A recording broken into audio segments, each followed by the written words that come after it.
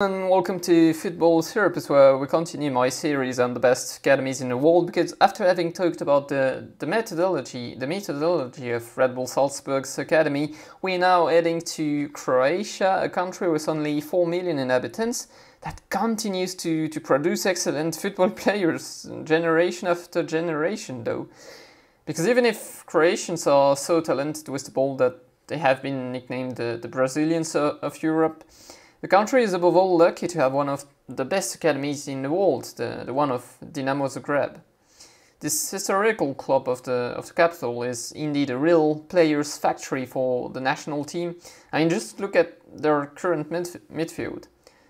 Brozovic, Kovacic and Modric. These three big names uh, surely rank at the top of Dinamo's former academy players list, a list you can find in the, in the description by the way, since I compiled two articles about it. So how does this academy work? First, first of all, ha you have to know that the first trials that take place very early, um, the U the U7 be, being the first cat category of the of the club. Tournaments are, are indeed organized beforehand in, in the metropolitan region of, Zagreb, a very advantageous uh, geof geographical uh, area as a, as a quarter of the national population lives there. However, the success of the academy lies in its me methodology, as the club pays attention to the smallest details, starting with these trials, uh, where the scouts are, are careful not to recruit only players born uh, that were born uh, at the beginning of the year, uh, a problem that unfortunately is, is recurrent in, in youth football. But what continues to amaze me is that Dinamo Zagreb's training program uh, development program is a real organization of the different skills taught, uh, starting from the youngest categories. Around 105 different technical elements are indeed worked on from the U8 to uh, U11 and in a progressive way since 20 uh, to 20, 30 elements are added each season by the coaches in question.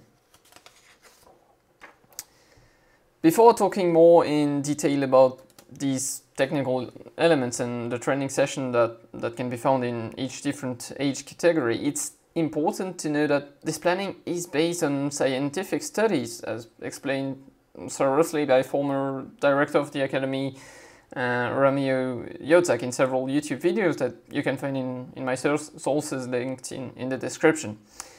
In order to understand the, the Dinamo training program, I first need to summarize uh, the different reasons for of its organization.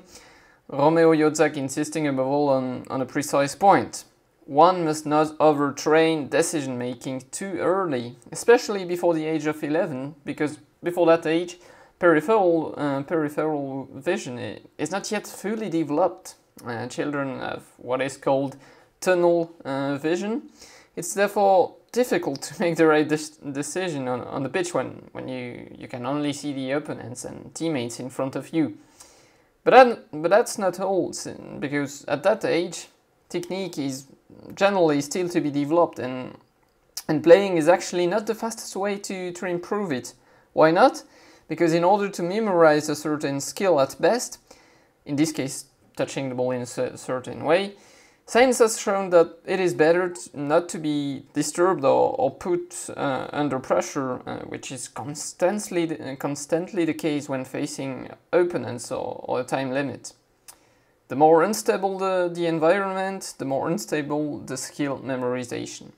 Therefore, it is ideally better to work on the, on the technique in, in isolation for as long as necessary before playing matches in in which you actually uh, only subconsciously adapt the memorized movement to movements to the different game situations. In this respect, uh, Romeo Jozak states that many football institutions are, are, still far behind those of other sports such as tennis, basketball or ice hockey, a sport in which, for example, Canada excels and recommends creating um, an ideal uh, environment for young players to, to, learn, to learn technique uh, pre precisely. In particular by, by trying to, to stabilize them so, so that they can concentrate uh, solely, they can focus solely on the skill.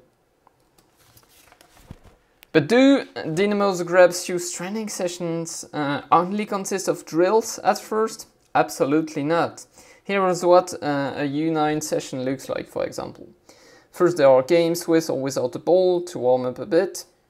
Then five, uh, six dribbles or, or fints are, are walked on, followed by various drills to, to train passing, receiving, shooting, in one-on-one situations before ending with a match where one successful dribble counts as one goal scored. So why aren't there only drills to improve your, your technique in this case? As mentioned at the beginning of the, um, of the video, Croatian youngsters are very comfortable on the ball and even even more those who are selected by, by Dinamo and then play a lot of football either in league either in league matches um, at the many national and international tournaments the club uh, takes part in or even in training where the U9s uh, spend four times one and a half hour uh, uh every week. that's quite a lot. But we mustn't forget that playing is fundamental for, for the children, mm, for kids. Without playing, many would surely stop coming, without forgetting that the coaches also need to have fun. Moreover, the club is, is careful to recruit uh, coaches for, for whom working at, the academy, working at the academy doesn't mean a step back in their career. Everyone has to be able to give 100, per, 100% uh, to give it all in the, acti in the activity they are doing hence the presence of playing and variety uh, in training. Speaking of training, uh, something must surely have struck you in the example session I, I gave earlier. The importance of, of dribbling, worked on with a, partic with a partic particular focus in, in, in two of the four parts mentioned.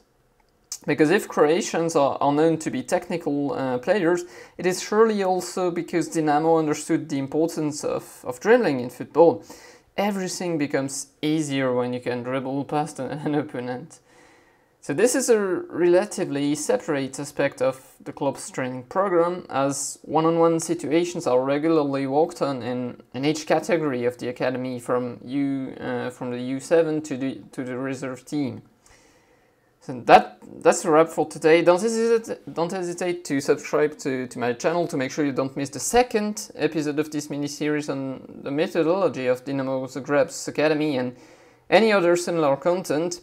And if you liked the video, don't forget to drop me a like, tell me in the comments and share the video with another football nerd. It would really help me a lot more than you think. Bye bye!